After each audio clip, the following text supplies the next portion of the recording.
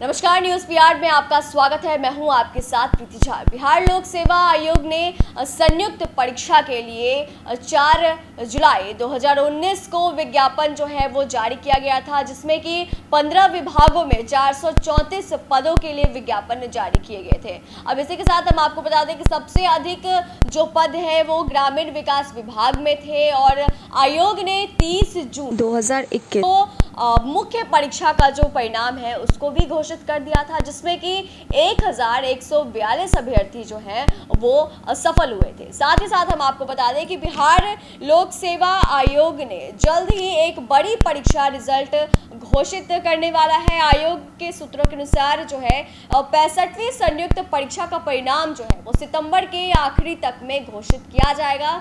इसका विज्ञापन 2019 में ही जारी किए गए थे। अब कई अभ्यर्थी जो हैं, कभी, कई लोग जो हैं इस रिज़ल्ट के इंतज़ार में थे तो आयोग की तरफ़ से बड़ी परीक्षा का जो परिणाम है, उसको घोषित करने का ऐलान किया है कि सितंबर के अंतिम सप्ताह तक इन पदों के लिए वैकेंसी जो निकाली गई थी, उसका अब रिज़ल्ट निकाला जाएगा। साथ ही साथ हम आपको बता दें कि कुल 14 विभागों में चार सौ चौंतीस पदों के लिए आवेदन मांगे गए हैं। प्रारंभिक परीक्षा के लिए चार लाख ग्यारह हज़ार चार सौ सत्तर अभ्यर्थी ने फॉर्म भरा था।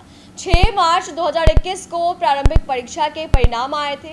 लिखित परीक्षा जो है वो 25 नवंबर से 28 नवंबर तक हुई थी। इसी के साथ प्रारंभिक परीक्षा में छः हज़ार पाँच सौ सत्रह अभ्यर्थी जो है वो सफल हुए थे। प्रारंभिक परीक्षा के बाद मुख्य लिखित परीक्षा के परिणाम जो है वो 30 जून 2021 को घोषित हुए थे और मुख्य परीक्षा में कुल 100 1142 अभ्यर्थी सफल हुए हैं। अब सितंबर महीने में सभी यानी कि 434 अ, पदों की जो परिणाम है उसको सितंबर में घोषित किया जाएगा।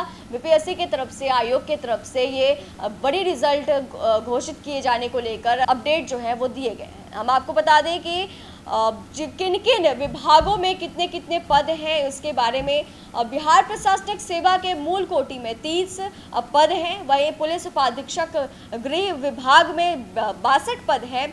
वहीं ग्रामीण विकास पदाधिकारी, ग्रामीण विकास विभाग में 110 पद जो हैं, वो दिए गए हैं और बिहार शिक्षा सेवा, शिक्षा विभाग में बहत्तर पद हैं। अवर निर्वाचन पदाधिकारी, निर्वाचन विभाग में 46 पद रखे गए हैं। श्रम प्रवर्तन पदाधिकारी श्रम विभाग में 20 पद हैं। आपूर्ति निरीक्षक खाद्य एवं उपभोक्ता संरक्षण में 19 पद दिए गए हैं। नगर कार्यपालक अधिकारी, नगर विकास विभाग में 11 और सहायक निदेशक सह जिला जनसंपर्क पदाधिकारी के लिए 11 पद दिए गए हैं। तो इस तरीके से कुल मिलाकर जो है चौदह विभागों में चार सौ चौंतीस पदों के लिए जो है आवेदन जारी किया गया था। अब इसका रिज़ल्ट जो है, वो निकाला जाएगा। तो इस तरीके से हम आपको बता दें कि विभाग की तरफ़ से ये अपडेट दिए गए हैं कि सितंबर में सितंबर के अगले आखिरी सप्ताह तक ये तमाम विभागों में जो पदाधिकारी हैं, उसको नियुक्त किए जाएँगे। तो इस तरीके से चौदह विभाग के चार सौ चौंतीस पदों के लिए आयोग की तरफ़ से रिज़ल्ट घोषित किए जाएँगे और बिहार के तमाम अलग अलग विभाग में अधिकारियों को नियुक्त किया जाएगा। तो फ़िलहाल इस वीडियो में आज बस इतना ही। बाकी खबरों के लिए देखते रहे न्यूज़ पीआर अगर आपने हमारे चैनल न्यूज़ पीआर को सब्सक्राइब नहीं किया है तो जल्दी सब्सक्राइब कर दें। धन्यवाद।